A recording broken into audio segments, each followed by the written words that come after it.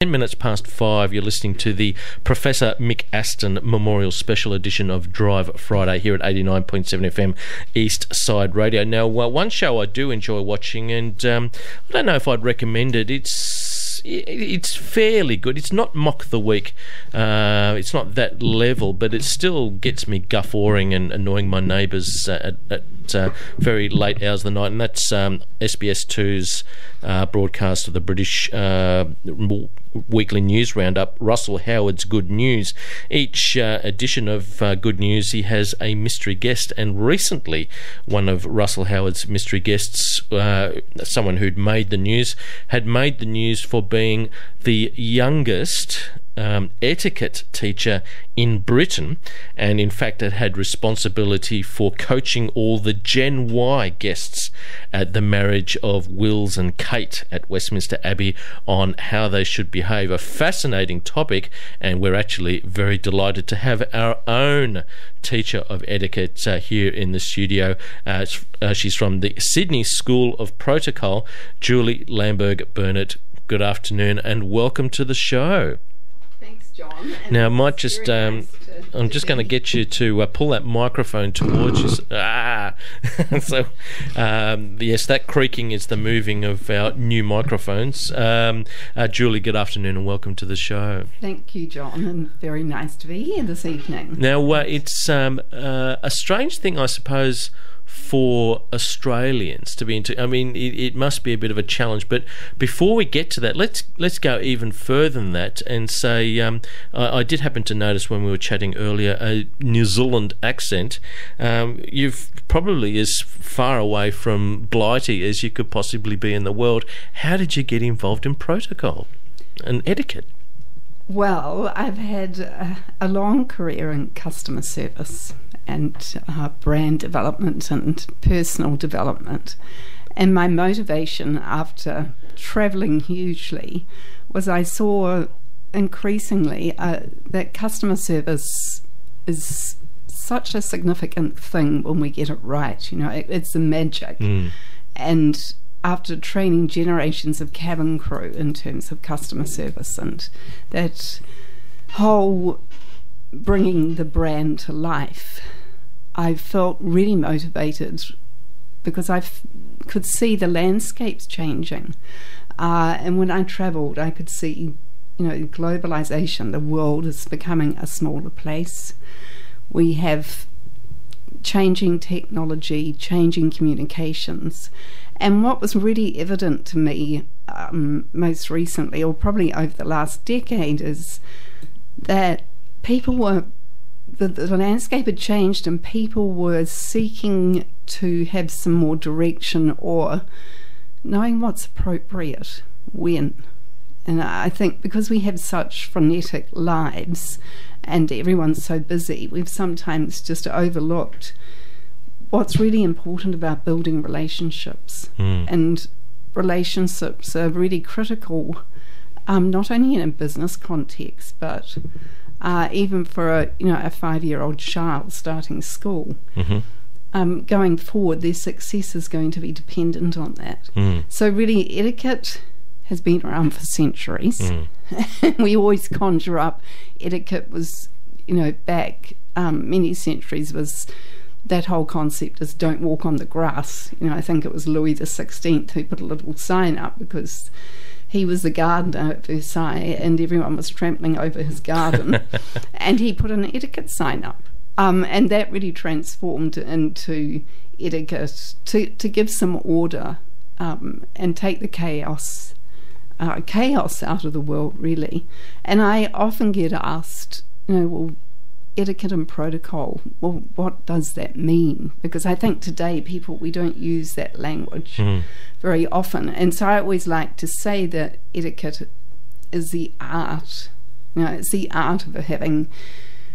Um, be mindful about how, how you're treating people or that your manners. Mm. Whereas the protocol is in every organization or business we have protocol because mm-hmm. those are the the rules that we put um, to have some context and, and order in the day. Mm. So, etiquette and protocol, as I said, has been around for a very long time, but I think people will recognise that it's still relevant. And what I'm really promoting here is that it's the next generation protocol mm. and etiquette. Mm. So, uh, uh, yes, yeah. yes. I, th- I, think it's a, um, a, a, wide and varied thing because uh, Lachlan and I were talking before. This is the Professor Mick Aston Memorial Special Edition of Drive, and we've been talking about um, one of our uh, favourite shows, Time Team, uh, which this week has gone back to Mesolithic times uh, in in their inquiries. But even things like um, bowing one's head um, uh, had its origin in those misty depths of time. That it was a, a sign of submission to a, a, a more powerful um, individual or, or, group, or even things like um, um, shaking hands, which we did when you entered the studio, um, comes from uh, well, you can't shake hands unless you put your weapons aside, uh, kind of kind of thing. That that, uh, um, that, that the origins of all these things actually go back to the very beginnings of human society handshakes was um, that's a, a, very good example because you know way back centuries ago, people that was a sign to show that you weren't armed with a weapon. Mm. So, you know, it would mean you'd feel comforted by the fact that someone was, you know, a handshake. Uh, and a handshake, you know, it's such a simple thing, and it's it's global and international. And only this week we had a teen development day um, training uh, 11 year olds to 13. And, and we talked about the handshake and, and actually just the act of you know, what does that mean? And the 11 year olds just, they, they really embrace the idea that, you know, how to do the proper handshake, not the limp one or, you know, squeeze mm. your hand to bits. um, and so there's a whole art uh, in that, I guess it's the non, it's the non-verbal as, as well as how we communicate with each mm. other. It's interesting you mention that because yeah. uh, there's also been a, a, show on ABC called The Years That Made Us. I can't remember the name of the presenter, but uh, they had uh, footage of uh, the then Duke of York, um, later, sorry, no, not the Duke of York, the then Prince of Wales, later King Edward VIII, visiting Australia in the 1920s, and he was shaking hands with his left hand. And I thought this was odd because I didn't know that he was left handed uh, or sinister, to give its proper uh, definition to the term. Um, and then the commentary explained that um, he'd received so many bone crushing handshakes from Australians that wanted to meet him that he was actually incapable of using his right hand and then ended up just with a light touch, just a light touch of the le- fingers of the left hand rather than actually a, a full proper shake. Uh, mm. uh, I think um, you know that handshake is quite symbolic and it's definitely an international you know form of communication. So some of the skills that we teach at the Sydney School of Protocol are simple things mm. such as what is a world class handshake feel like, look like, mm-hmm.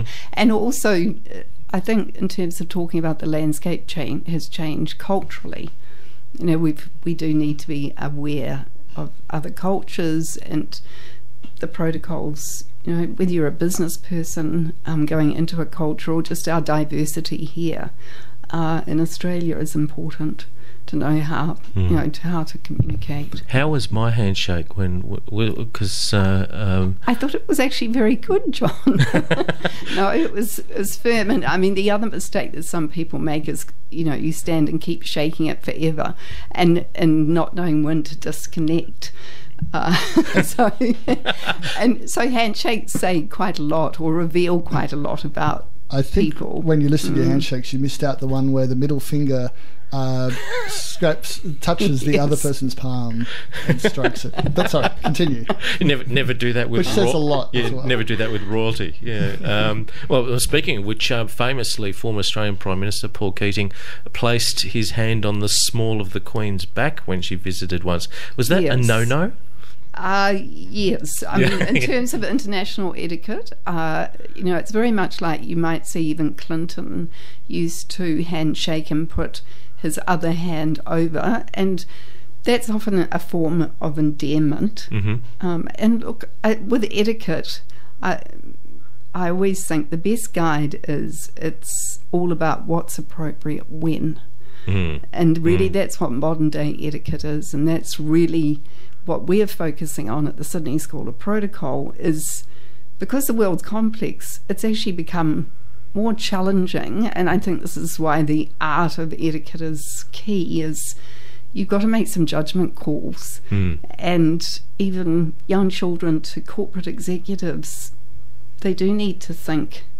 So actually, what's appropriate for this occasion? It's it's Yes. like technology, huge social media. It's the most talked about Mhm. etiquette um, aspect because Mm, lots of mm. parents parents are struggling at the moment. How do they educate you know their children to understand that these are great tools, Mm. and we all love these tools, and but we do get. I think we've almost got things out of perspective. Is that we we sometimes don't know what's appropriate. So sometimes, for example, it could be when do you send a, uh, you know, a thank you as an email, and Mm. when would you send a thank you as a written letter? All right. Well, let me let me You put you know. on the point. Is it ever is it ever okay to end a relationship by text? I wouldn't think so. no, I mean, it, again, it is very circumstantial. It's, and I think what we uh, are advocating at the school, and it's a very international approach, is the fact that we want people to know when to make those calls Mm. because it's not just straight up and down etiquette Mm. and protocol. It, is requires actually a tremendous amount of judgment, doesn't it? Yeah. judgment, and that's what we're really advocating. Is what what's next generation protocol look like? Because I think over the period of perhaps generations, it's diluted, and I'm not sure, John. You know, when you were growing up, if this was something your parents talked about, but I think parents today are so busy.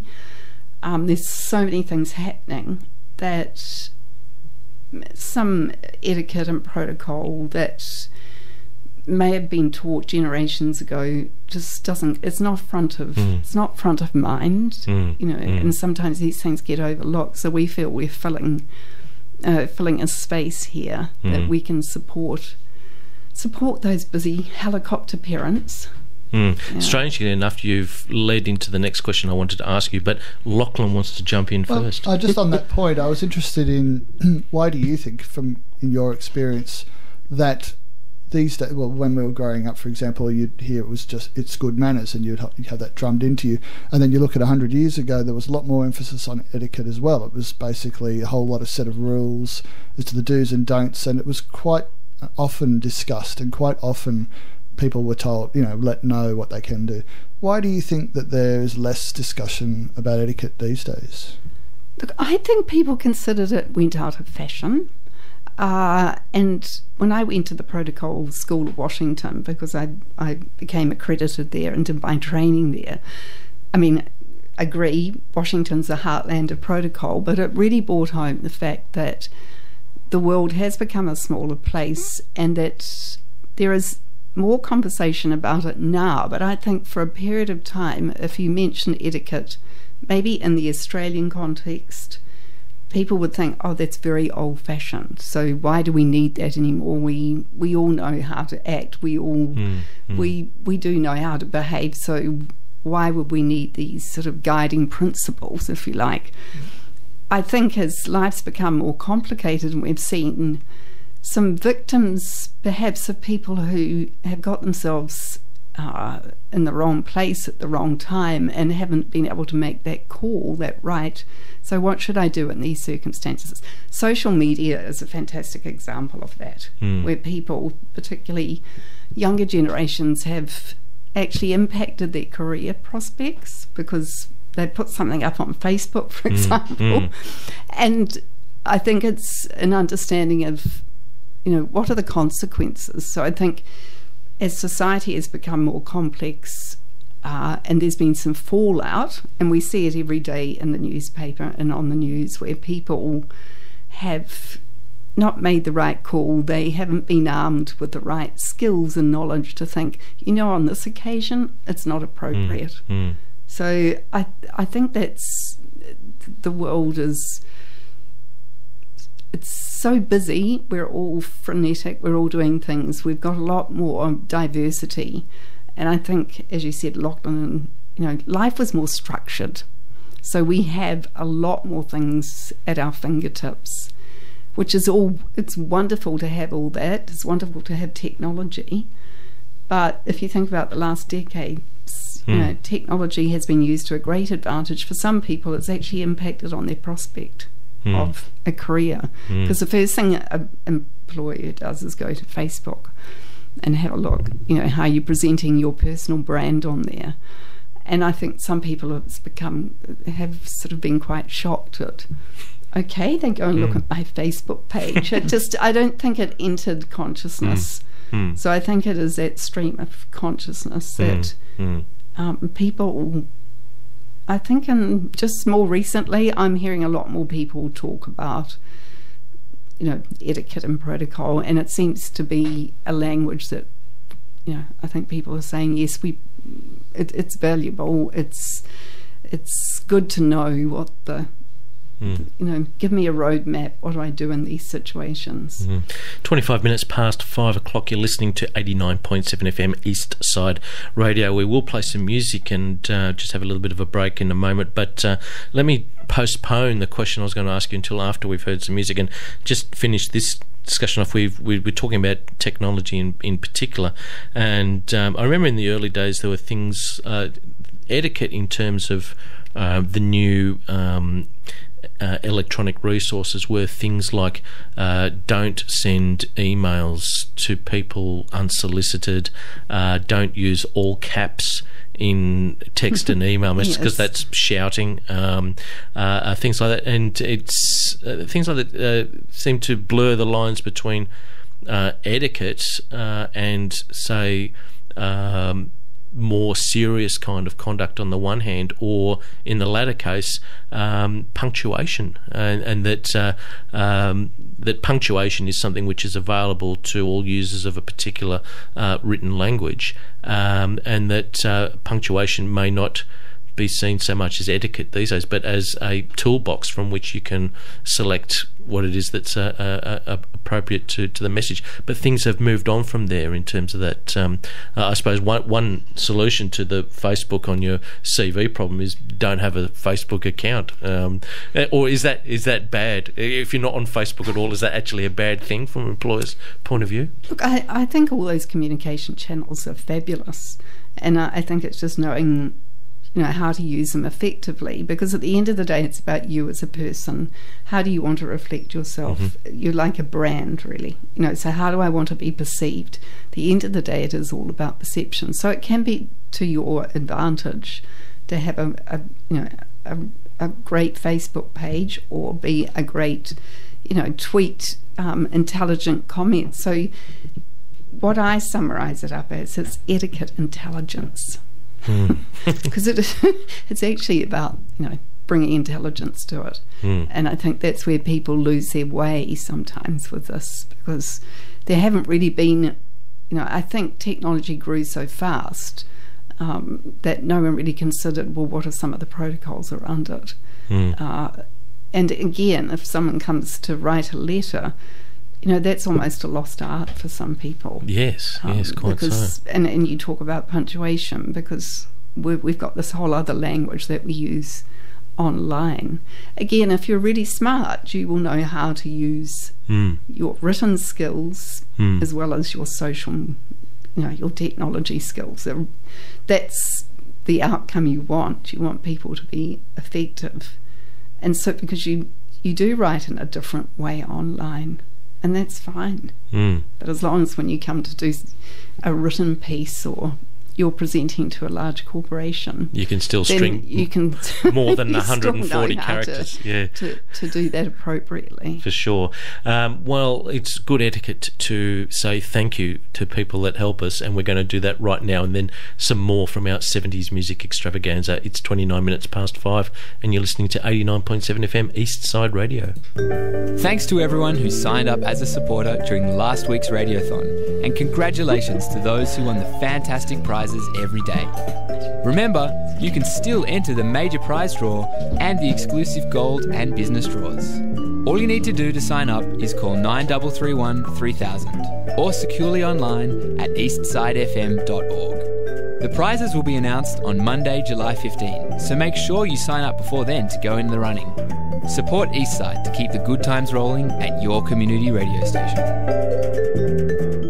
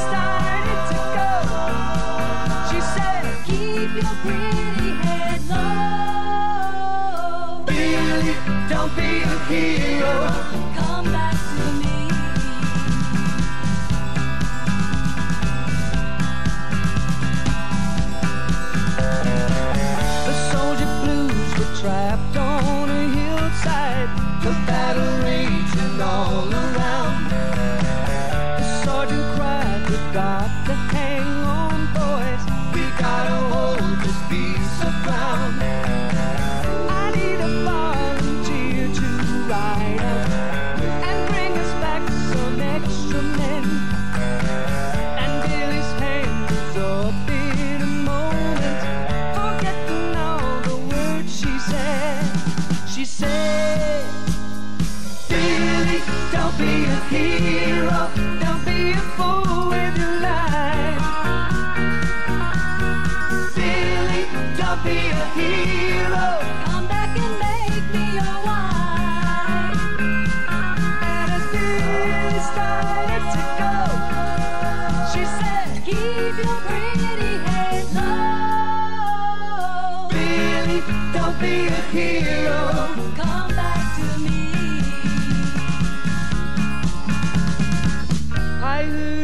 fiance got a letter that told how Billy died that day.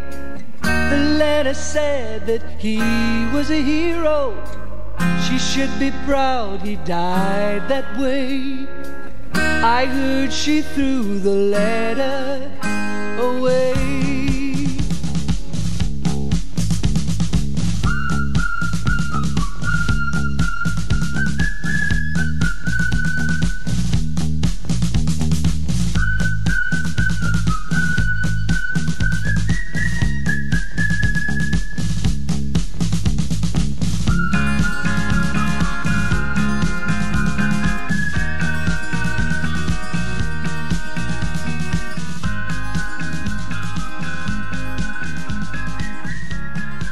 Paper Lace and Billy, Don't Be a Hero. Um, bit of reflection of changing attitudes towards war in that song. Uh, I mean, I was in primary school when that song was on the, the hit parade, and it was a very anti-war song. And um, uh, I don't know. I th- think perhaps I don't know. People are probably less anti-war in that. Res- you know that uh, everyone lo- or every woman loves a, a, a man in a uniform or, or something. Something that was. Maybe I'm completely wrong, but um, uh, um, anyway, n- not to worry. Our guest is uh, uh, Julie Lamberg Burnet. She's from the Sydney School of Protocol. And what I wanted to uh, ask you uh, before um, was you mentioned in relation to my handshake that it was actually you know it met the standard, um, and I'll just reveal a little bit um, about myself, which is that um, no, my parents didn't teach me anything useful about etiquette except for things like um, uh, holding cutlery properly and working from the outside in, and um, uh, a, few other bits and pieces. Ne- certainly not the handshake. And uh, I also I went to the local state funded public school uh, as well, where, we didn't learn ab- about etiquette. In fact, they taught us the barn dance in fifth class, which I thought was a lot of fun. And then when we actually became teenagers and started going to dances, I thought, when are we going to do the barn dance? We're doing all this other stuff which I don't like instead. And so I've become a, a, a non dancer. But um, uh, just, to, I suppose, to continue a, a theme that Lachlan was talking about before, which is that somehow I've managed to get to where I am today. Uh, with some sense of knowing what to do in terms of handshakes and communicating with. Again, I mean, I was a professional advocate. I'm a lawyer, and you know, I, I, did that very highly skilled job well. But no one actually taught me about uh, eye contact and, and reading body language and and uh, uh, sending out messages like that. How where do we pick? Do we get it from TV shows? Uh, I mean, um, or, or is it not important, or is the standard in Australia pretty low? And that you know, if you basically just show a little bit of consideration to other people, you've you pretty much get a big tick.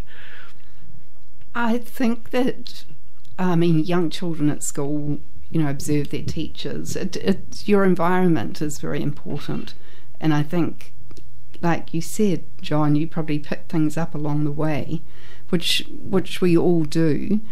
But for some people, they don't have the benefit of, say, a great mentor or someone that they admire in their life, or perhaps their parents haven't uh, given that sort of guidance and the school perhaps hasn't either so you can get you and sometimes this is i've heard uh, corporate executives for example who are highly intelligent and have got you know degrees very well qualified but they might go to a dinner or something and they're confronted as you mentioned with the dinner table and they they absolutely you know can't navigate their way around it Mm. and they become very self-conscious and and I was talking to a senior consultant recently and he just quoted that exact example. He said I just felt totally inadequate.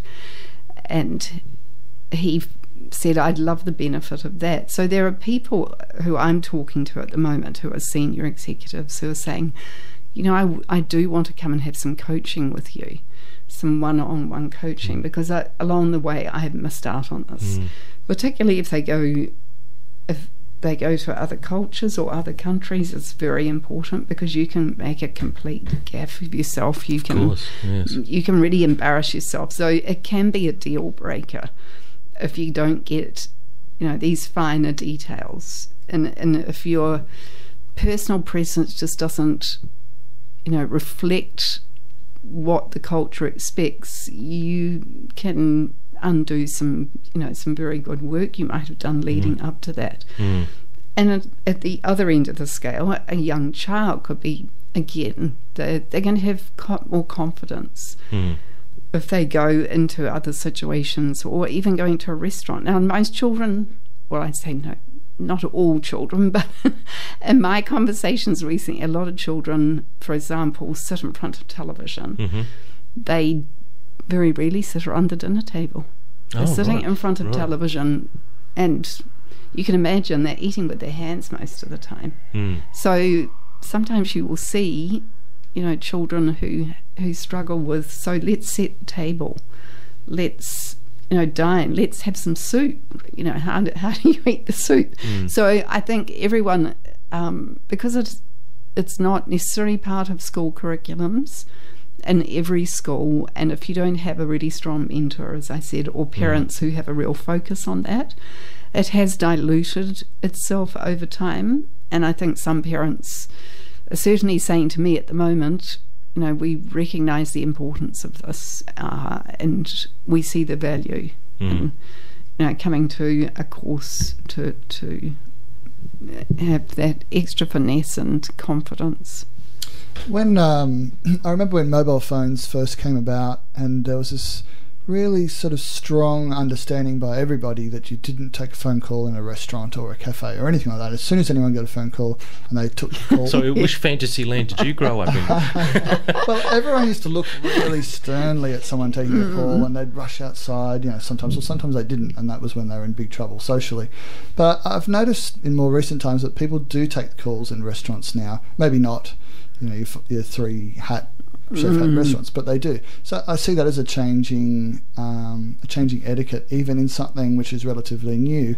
What would be some do's and don'ts of, of mobile phones? Can I just add to that as well? I mean, I- I agree, and um, uh, particularly things like shouting on your phone on public transport Yes. and uh, offensive and loud ringtones, and um, uh, and there's a s- many areas where I just think that um, uh, people are just inconsiderate um, with their use of of, of mobile phones, uh, which uh, seems to be getting worse.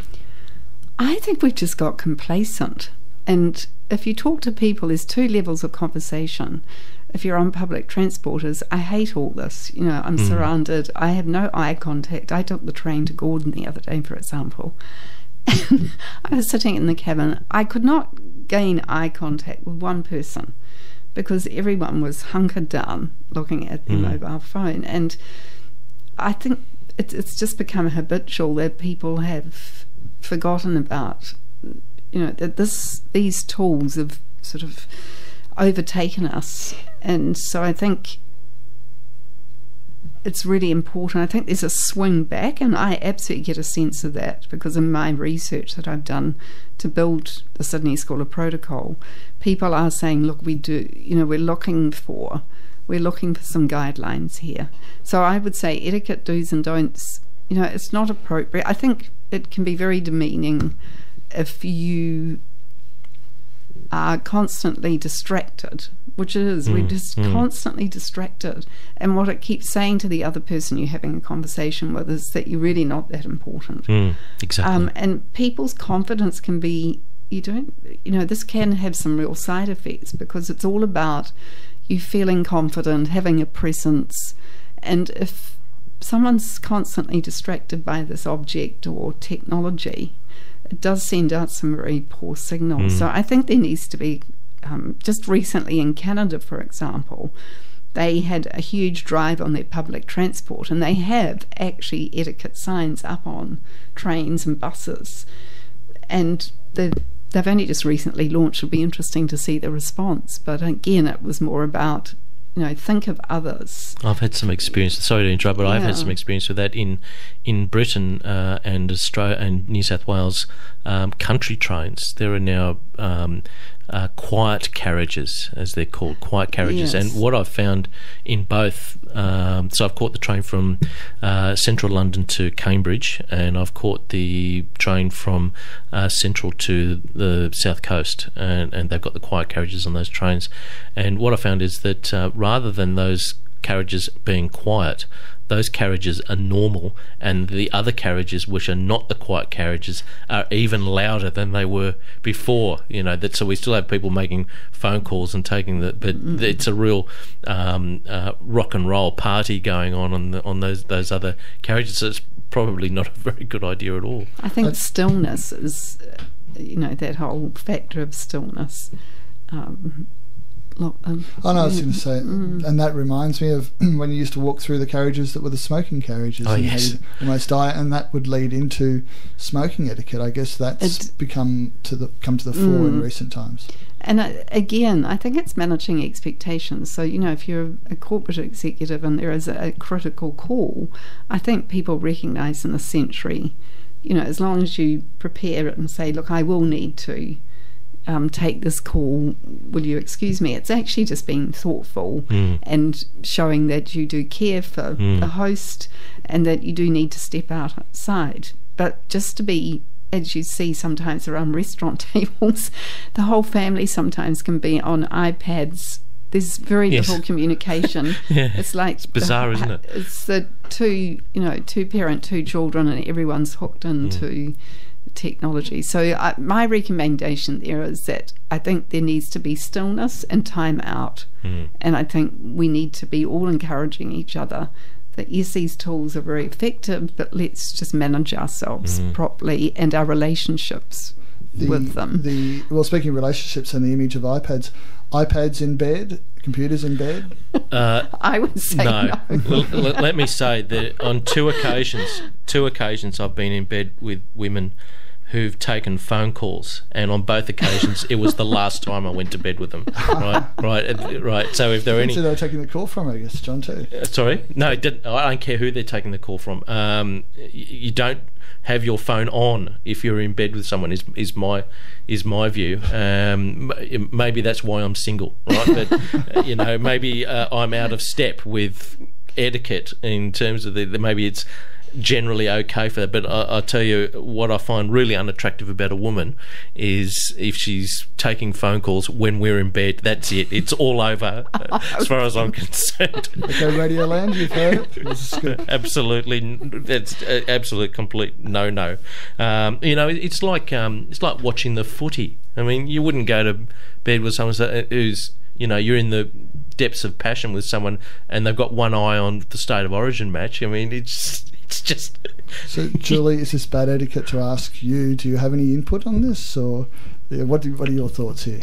Well, I think, uh, you know, relationships are important in life. So I think we need to think about that carefully. And if we're using, you know, technology, I think again it comes back to that whole fundamental philosophy is is understanding what's appropriate, um, being intelligent about it, you know, taking and considerate. intelligent Mm. and considerate. Mm. Uh, and I think we've gone so far the other way that I think there is a general, I get a strong sense of the call that, you know, let- we just let's recalibrate this, Mm. get some balance back because, you know, we have seen some pretty horrific things where people have, their lives are being affected by it because, because that whole interpersonal uh, element has disappeared. It's just become a forgotten, and people hmm. are not not feeling like they're being valued. Mm. So I think it's Quite so, quite so. 14 minutes away from 6 o'clock. Stay tuned because at 6 o'clock it'll be time for Cinemascape, our weekly roundup of new releases on the silver screen. Uh, we um, we don't have that much time, and there's a couple of things I did want to. I want to come back to that question I was asking you before. And just as by a way of lead into that, um, uh, there was a, a, an old joke, or I don't know if it was management training or, or whatever it was, but if you come to a town with two barbers, um, you should always go for the shabby one because because presumably they do each other's hair, and um, the, so the shabby one is the one that's done the good job, and it's the tidy one that's done the shabby job. Um, similarly with my dress. So um, I'm probably the very opposite of um, good etiquette. They would not have let me into Westminster Abbey for the marriage of Wills and Kate wearing what I'm wearing now, and yet I managed to to get by. People, uh, I suppose, once I open my mouth and have a conversation with someone, that they can judge those inequalities. But um, from the outside, I'm just the I'm just the next bogan uh, down the chip shop. well, first, first impressions. I mean, people make an impression of you in the first five seconds, Mm-hmm. and I think we sometimes overlook that. But it, the you talk about your inner, you know, it, it's presentation and it is important, but it is definitely always how you're coming across. Um, how how you're extending your hand for a handshake, your smile, all those simple things. So, again, your presentation needs to be appropriate. I come back to that again. It's being appropriate for what you're attending. I think people do it again. There's a whole maze of confusion.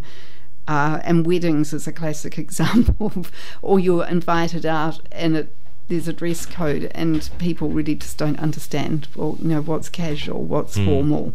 Uh, and I guess that the advice there is always you better to be overdressed than underdressed is a good tip because you again can find yourself you know in circumstances where you're feeling less than confident if um, you you turned up inappropriately. So again i think it's doing some research and making sure that you you do need because it's such a complex world you do need to actually be intelligent about what you're going into Mm. Well, I'm always going to be a failure when it comes to dress, but let's talk a little bit about dress because um, uh, visiting Kensington Palace one day, I found out very something very interesting. That the reason why men dressed so blandly throughout the 19th century, and um, uh, and I heard somewhere that the 20th century was actually the first century in human history when men in Western societies generally didn't wear makeup, which uh, which I thought was fascinating. But uh, this um, uh, exhibition at Kensington Palace said that uh, um, the reason why men dress so blandly is came out of the debutantes' balls, uh, which. Uh, had now stopped, um, but uh, in those days, the expectations were that gentlemen should dress blandly so as to not so sorry so as to give an opportunity for their partners to Oh, shine right. Yes, and um, uh, and uh, uh, particularly um, uh, with the invention of the evening suit by Beau Brummel, I'm not I'm not completely naff on these things, as you can see. um, that uh, there's a style of dress which is basically for men has un- is unchanged for 200 years, except perhaps for the flowering in the 1960s. I mean, where is it? Where are we up to with with those? And how, for example, is influential is business so much in today's society um, that uh, uh, are men expected to be bland and formal uh, in that and uniform in that sense where they dress, or um, is there still the opportunity for colourful Renaissance men in today's society? Oh, absolutely. I, I think that we've, you know, I think it has become more interesting, exciting, particularly for men, because you can still look absolutely, you know, smart in a business sense, but be really dynamic and colourful. Uh, so I think we've moved, thank goodness, a long way from from where we were in mm-hmm. terms of blandness. And again, that presentation you see it every day, which is wonderful in any city in the world where your personality can shine through. You, that's your personal brand. You can represent it. The key things about that from an etiquette and protocol perspective is is just being immaculate in terms of what you know you're putting on in terms of how it's cared for, you know, clean shoes, all those things. That's going to make the difference. Those are the small attention to detail things that people Mhm. look at. But I think particularly um, men's fashion is is wonderful now that people have this opportunity because it is a bit of a straitjacket and men don't have as Mm, much mm. choice as women do. Um, but I think it's great to see um, lots of designers, for example, and some great Australian designers really picking up on that. And we're a bit more adventurous, but you can still, you know, again, it depends what function you're going to. Um, but there's a lot more room for, for creativity and, and uh, as you said, being bland's but boring. and not my style either. Um, let me turn now. Finally, I suppose this is a, a, a difficult issue to raise, and I m- might be struggling uh, putting it to you. But it, I understand. I, I want to reinforce what you've been saying that um, uh, etiquette and protocol is a very wide and varied range of, of things, and that their different contexts have different requirements, and that it's valuable knowing how to uh, present yourself and to uh, in, uh, interact with consideration towards others. I get all that, but um, uh, what I want to um, ask you about is.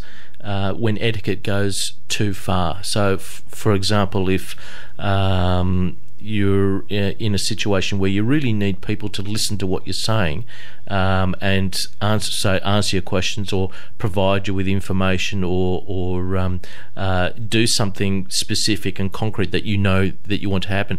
But the response you get is from someone who's really only concerned about the relationship uh, and and that everyone's happy and smiling. And um, so, um, uh, for example, there was a situation I was in uh, recently where I said. Um, uh, you haven't answered my questions. Um, the worst possible outcome is this.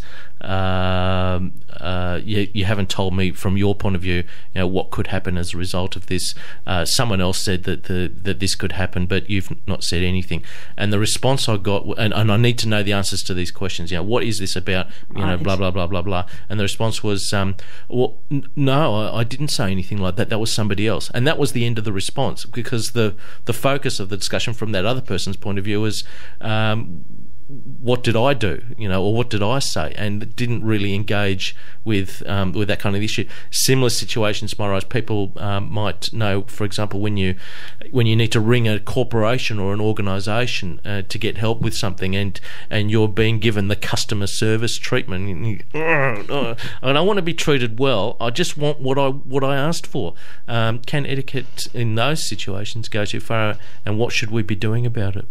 I think you raised a good point. You said engagement, and you know, you you might call up some companies and they have a customer service sort of. It's almost like a rehearsed response, and that is not etiquette because it's not taking into account. It has no integrity. I mean, integrity is important, and and whoever you're talking with, listening is a big factor too. Because Mm. most people don't listen. They, you know, you really should be very focused on that listening skill Mm.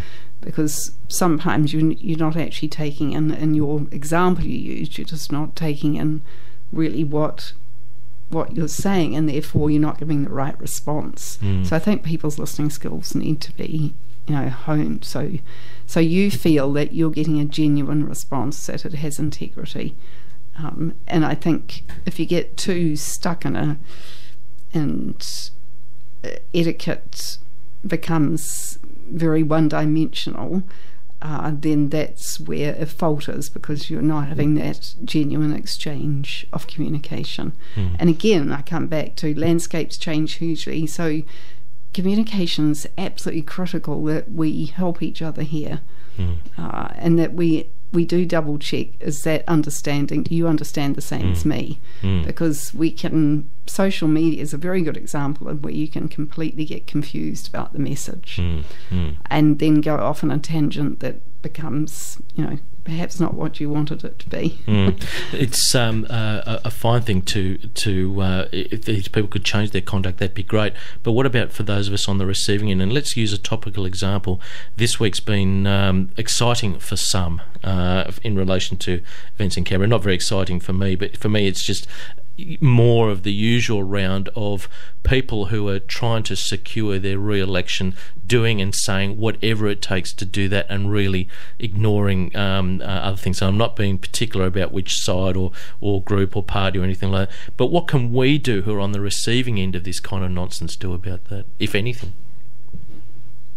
I think it's just raising, um, continuing to to to raise the issues around that the communication doesn't seem um, it, it lacks a genuineness about Mm. it, and I think that's what people are struggling with because you can see a fake, and you you know it's people will say fake it and make it, but you know people we're all intelligent and we can perceive that. So perceptions are critical. And I think what you're talking about there, John, is the community or you know, the whole of the community of Australia has a perception about what we see happening in front of us. And it is the people who are delivering the message need to really be clear about the perception that they are Mm. revealing Mm. or portraying Mm. and make sure that, you know, is it Mm. on track, off track, and if it isn't, or whatever, what's what do we need to do about it? Mm. I think people have become um, very uh, disheartened, I suppose, about, uh, and it is that sort of lack of. Uh, people articulating everywhere, but what's the level of genuineness and integrity about it? Mm, mm. We've been talking for some time, but unfortunately, we've run out of time. When uh, I've got plenty more that I'd like to ask you. Unfortunately, I suppose that's why you run courses. Let's just f- uh, finally ask you: uh, You are running the Sydney School of Protocol, where people can find out more about these and actually do some courses uh, with you. How can they find out more? Is there a website, for example, that people can yes. visit? Yeah. So certainly um, invite people to go to the Sydney School of Protocol.com.au and we run courses for young children, young adults to corporate executives uh, across uh, most areas that pers- from personal branding to communications, cultural differences, but with a real focus, uh, particularly um, in the context of the Asian market as well. We Mm. believe that's really important um, for us here in Australia. But it is certainly uh, to give you that extra confidence and presence that you need both in social and business situations that, that will uh, give you that extra, you know, that extra level that is going to make you more competitive Mm. um, in in the Right. world. And just finally, um, uh, how can people find you on the internet if they're interested in finding out more? You got a web address? Yes, Sydney School of Protocol.com.au. Mm-hmm. That's very easy to remember. Sydney School of Protocol.com.au. Mm-hmm. .com.au. Thanks so much for uh, joining us this afternoon. My I, pleasure, I wish we had more time because uh, it is a very fascinating um, uh, um, area. But for the moment, from the Sydney School of Protocol, Julie Lamberg Burnet, thanks very much for joining Thank us this afternoon. It's bang on six o'clock. No more music today. We'll be continuing our 70s extravaganza next week because the 70s was a long time uh, 10 years, in fact. And um, uh, there's plenty more music for us to, uh, to play, so we'll be continuing that, that um, over the next couple of weeks. Thanks to my producer, uh, Lachlan Orr, uh, for uh, assisting with uh, today's show. Uh, thanks very much. Have a great week. Thank you. You too. Uh, we'll be back at 4 o'clock next Friday. Stay tuned now because it's time for CinemaScape. You're listening to 89.7 FM East Side Radio.